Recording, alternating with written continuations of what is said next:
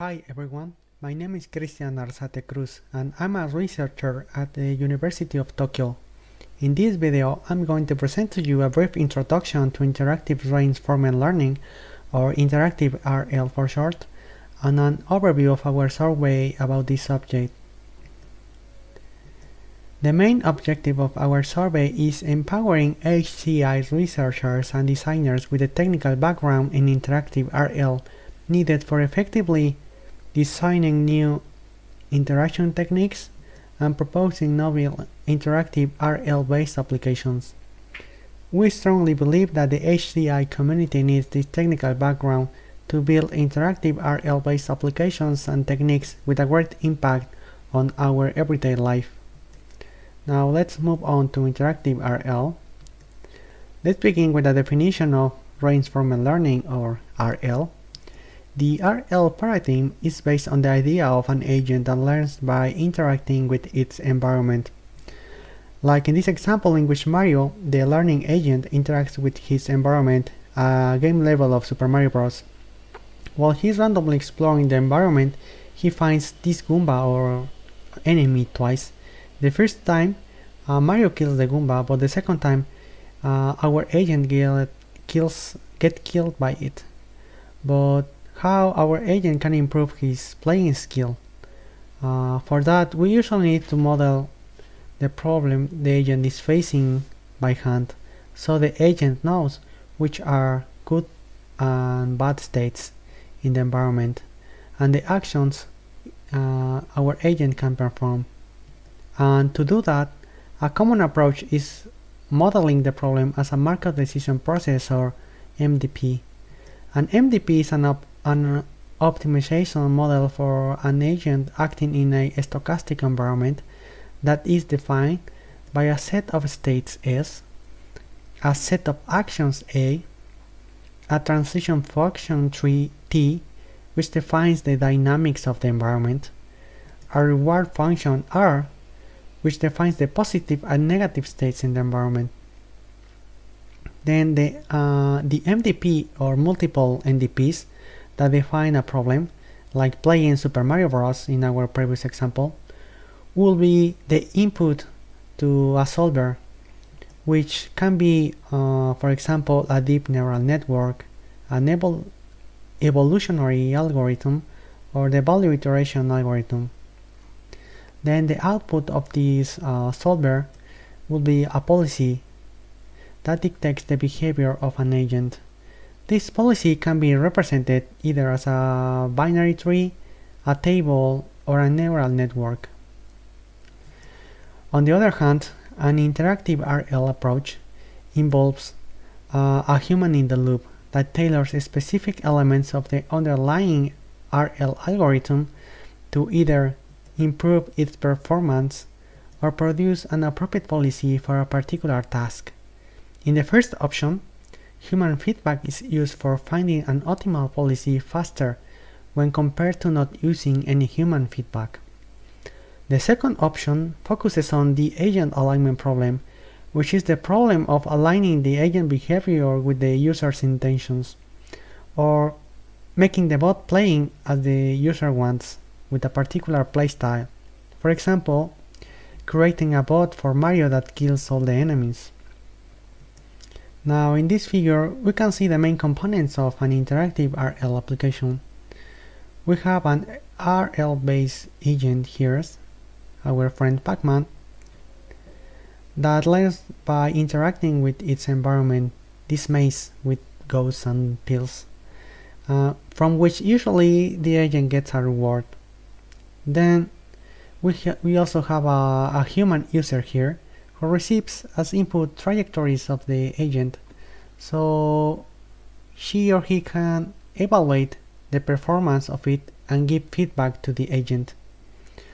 The type of feedback, there are different types of feedback. It could be either like a just a good, uh, uh, like a critique, saying, okay, this uh, action that you perform in this state is good or bad.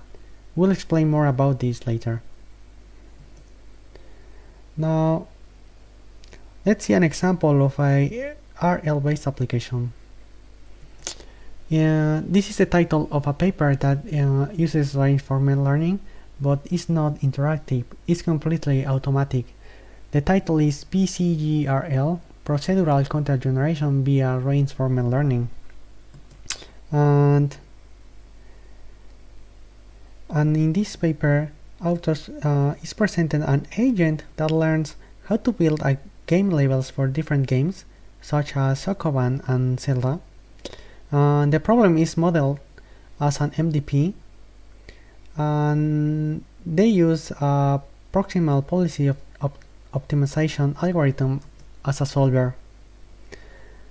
Now, how can we design an interactive version for this paper, for example?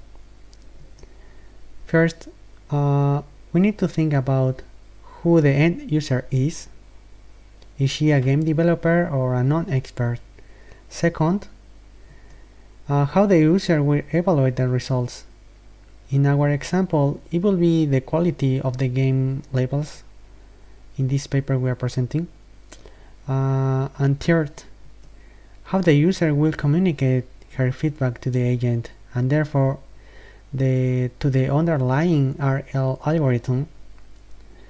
So for the first question on who's the end user, in our survey we present uh, we detail the typification of the end user. Uh, we found that the most important features to typify an end user in interactive RL involves knowledge level, if she's an expert or, or not, preferred teaching strategy, and safety concerns.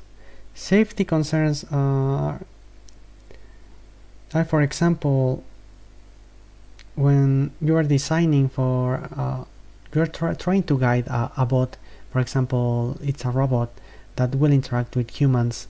So it's important to take into consideration safety concerns about the interaction between a robot and a person. Uh, in taking into account these features we can introduce general design princip principles to guide HCI researchers and designers to create capable capable and economically interactive RL applications that users can understand and trust. Now, for the second for the second question, how the users will evaluate the performance of the agent, we present uh, if how to create effective evaluation cycles in our survey. A fast evaluation of the agent's behavior can substantially reduce the time needed for each teaching loop, which is something very positive. Some of the approaches meant to lessen the evaluation process consist of evaluation techniques, visualization, and another option, explanatory techniques. For the first option, uh, for example, we have crowd evaluations that distribute the evaluation task among various users. For the second for the second one for visualization, we have for example tools for summarizing the agent behaviors. And for the last option, uh, we have um, in the building agent example will be to explain its decision procedure like the bot is able to explain why he is performing certain action at a given state. And then for the third question uh, about the communication channel between the human and the bot, we present uh, the type we describe all the types of feedback that the user can have. As we can see in this figure, in our survey we detail all these options that the user has to give feedback and how each of them can modify the underlying RL algorithm as we can see here in this red box.